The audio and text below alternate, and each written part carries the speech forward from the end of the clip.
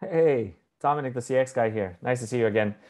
Quick intro about me. I've been a Zendesk consultant for the past uh, seven years and nine months. I've been a Zendesk partner for the past two years, and I've recently finished a subcontracting uh, with Zendesk where they hired me to be a Zendesk consultant. And I'm here to share some of the experience that I've learned. And uh, today we're going to discuss uh, Flow Builder and how to use it, how to how the end user experience will uh, look like and how the admin experience is to create it from scratch.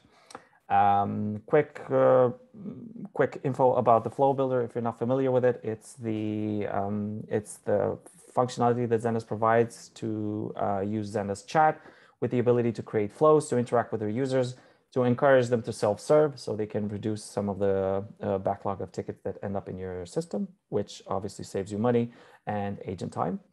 So uh, without further ado, let's jump in, share my screen. All right, so this is my guide environment where which I have created and I have my chatbot enabled right here. So let's start interacting with it. I activate it from here as an end user. So the chatbot greets me and tells me like, um, yeah, hello, you can be as friendly as you want. And it asks me to choose an area of interest. I have chosen here, for example, in for this example, uh, product registration, account question, and additional services. I'm going to go for product registration because I have problems registering my product. So now uh, it asks me for some additional options. It asks me like, uh, do you have registration issues or you can't find your product? So initially I want to say like, yeah, you know what? I, I can't find my product. So now the answer bot is going to say, yeah, this is what I found for you. So I found two articles, which I'm encouraging you to go ahead and read. These are obviously some dummy articles. They're not necessarily the, the, the, the real deal. So back to here, it asks me like, hey, was this useful or was it not useful? Okay, let me go through the second one as well to make sure that I read up and make sure that I see everything that the bot suggested. You know what, actually this didn't solve my request, so I need some more help. So now it's going to ask me to start over, which I will. And in this case, I want to talk to an agent. You know what? I've had enough. You know, you're you you're cute, Mr. Answerbot, but I need uh, I need to talk to a human. So right now I've set this up. Uh, so for me to, um, for example, if I choose another option from which I don't have any articles in my knowledge base, um, I am going to ask uh, an agent to jump in and help this person.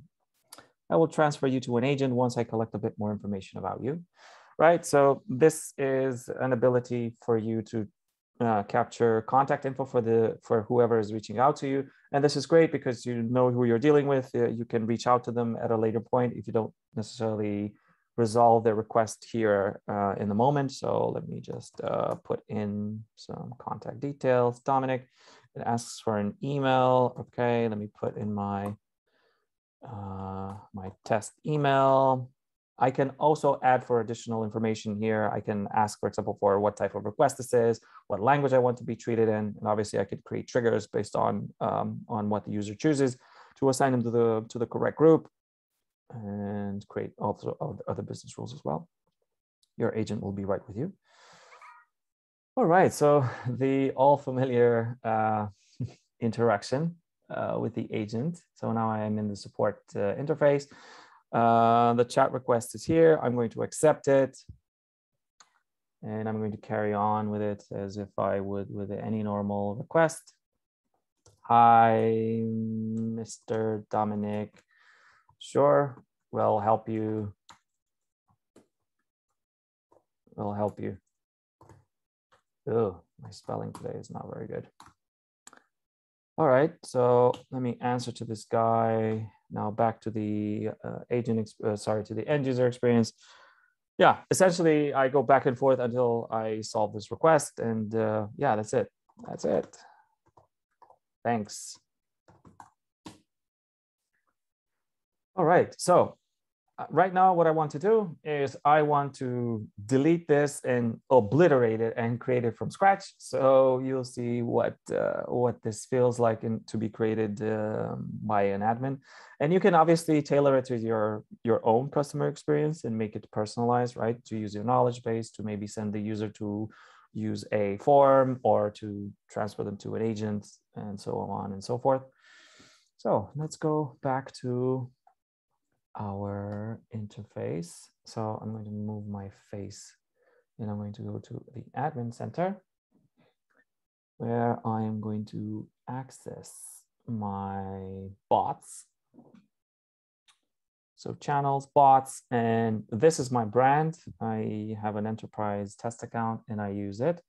So you know what? I am going to delete everything, uh, delete this step, right? So this means that everything has been deleted. So now we recreate it from scratch. So uh, the initial message has to be something friendly. This can be tailored to your your own experience, right? Um, I'm just going to leave it like this.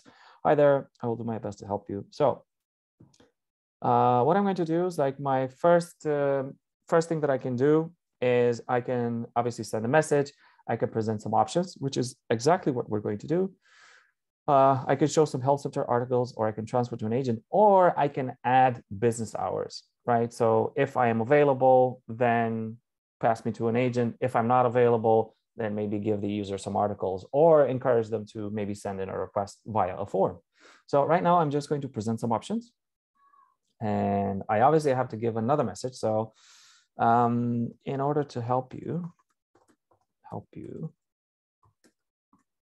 uh, we will kindly ask you to choose an area of interest below.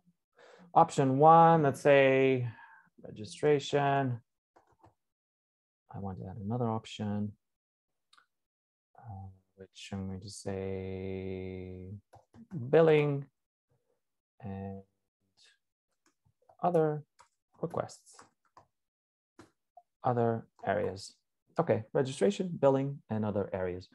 Okay, so now we go for registration and uh, what we want to do is we want to add a step, add a step here. So what I want to do for registration, I want to present some articles. I have some great articles that I can present for registration, and I want the end user to please interact with these before they, they interact with, uh, with chat agents because uh, if I have my product well documented, then why not encourage end users or customers to uh, to browse them and read them and uh, maybe get the request solved? Because as you know, mm, about seventy percent, seventy to ninety percent of requests are always the same. So if you have them documented, why not use them here?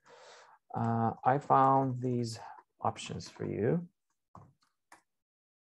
articles. Okay, so I want, uh, let's say tickets. Wi-Fi, can I find something? Okay, this one. Uh, and then let's try to find another article. Yep, I want this one too.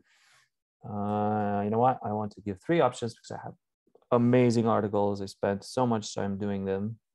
Here we go. So I have these three options. Good, perfect. So now um, as you can still follow the uh, the flow builder, right? I have here uh, for registration, I have these three options, right? Which uh, which uh, I can see them here. And at the end, I ask the customer like, was this helpful or not? If it wasn't helpful, then they can start over. If it was helpful, then yay, good experience. Uh, for billing, I can say, you know what? What I want to do for billing, because it's important, billing is important. I want them directly to talk to an agent, right? So I'm going to just directly transfer them to an agent. Uh, we will transfer you directly to an agent. So right now it asks you like, what fields do you want to present to the user? So the, the default ones are name and email, but I can also search through my ticket fields. And that is amazing because I can say, you know what, uh, also give me your request type. I want to know what type of request you're reaching out with and I can better help you. Um, okay, so now transfer to an agent and I also have to give a friendly message. Um, if I don't say, if I don't uh, give a message here, it's not going to let me save. So I'm going to be very tedious about this. Bot message, an agent will be, oop, right with you. Good. And for this one, for other areas, I want the, the end user to please go ahead and use a form for which they can maybe spend like one or two minutes of their time. And I can give them a form which they can find on the guide and they can simply just categorize the request and I can collect more information so I can help them better, right? This is what I intend to do here. So I'm just going to send a message. I'm going to say, um, in order to best help here, uh, we will kindly ask you to fill in the form below. Uh, okay, I'm, let me find my form. Wait a second, it's here. I just copy it from here. It's uh, much easier. Let me go back in here. Okay, in order to best help you here, we will kindly ask you to fill in the form below. Uh, in order to help you, we will kindly ask you to take two minutes of your time to fill in the form below. Alrighty, so I think this looks much better. Let's do a quick preview. Alrighty, so hi there. We'll do my best to help you. In order to help you, we will kindly ask you to choose an area of interest below. Registration. Oh, there we go. Found some articles for you. Good. And so yeah, this looks uh, pretty good. I'm going to publish it and I want to see how this looks like for the, um, for the end user in my guide or wherever I choose to install my widget, right? I can install it on any page of my website. I can, for example, I can install it on my sales page, product page, on a registration page to help the user along with their journey. Uh, and I don't want to give you too much information, but for example, on the sales page, and a user is three times more likely to purchase, to make a purchase if an agent helps them. So yeah, that's very good. Alrighty, so let me close this window down and open another incognito so I can start this process from scratch and hopefully the cage will let me do my thing here. Alrighty, so let's see, activate the chat bot. All right, I will do my best to help. In order to help you, we will kindly ask you to choose an area of interest below. Obviously, the wording is a little bit redundant and repetitive, but yeah, that's doesn't really count here, right? So I have registration, billing, other areas. All right, let's see registration, how this works. I found these options. Here are my articles. Yeah, let's see one. Da da da. You know what? Nah, this didn't help. Let me open this back. No, I, you know what? I still need help. Screw this. Nice. Okay, so I will start over. All right, cool. So I'm going to go to billing right now and see how this flow, flow looks like. Transfer you directly to an agent. Yep, give my name again. Give my email. And then what kind of request is this? Hmm, uh, this is a repair you know what? Very nice. I can choose what type of request it is.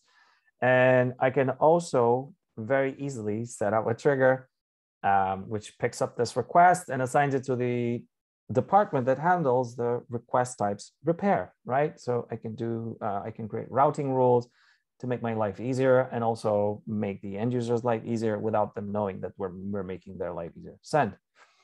All right, so now we're essentially waiting for an agent to pick up this request. Uh, that's the message. So we go in here. yeah, we accept it. Obviously, the whole history will appear here, like uh, from start to finish. You see, we uh, recommendations that we gave the um, the end user.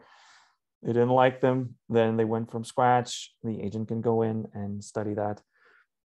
Yeah, here we go. We can see, uh, we can have more information about the user and yeah, we, just, we can start our um, interaction with them. So now going back to this, uh, okay. Hey man, sure, will help. Uh, yeah, well, you know, this agent is kind of being um, a little bit rude to our client. Anyway, that's not the point.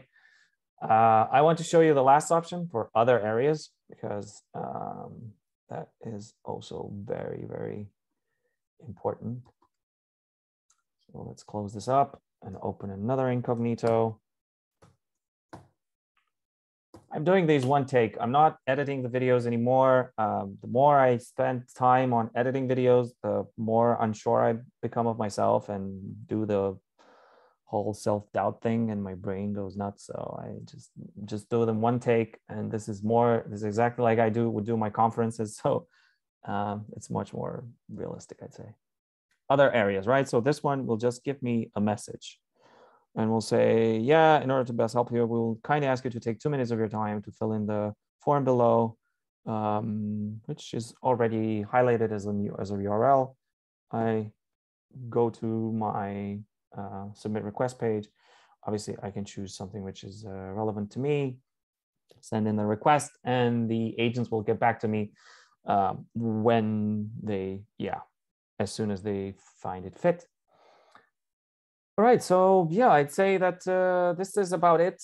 Um, this is how you build a basic flow uh, with the help of the flow builder. Again, this helps you reduce, um, helps your customers self-serve and reduces the number of incoming requests into the system. So lower backlog, um, saving agent time by categorizing requests and, uh, and being able to create routing. What else? Yeah, happier clients. So they can give, uh, they can find the answer to what they're looking for the fast in the fastest way possible. So if you made it this far, you're a champ. um, please like and subscribe this um, um, this video helps me a lot with the YouTube algorithm because I also have a very low subscribe rate. I am doing these very often or I'm trying to do these daily, uh, like very with very small um, things that um, you can do around Zendesk. And uh, what else? Oh yes, please comment if you want to see some special content because yeah, this I do this because I want to help you. So yeah, see you. Bye.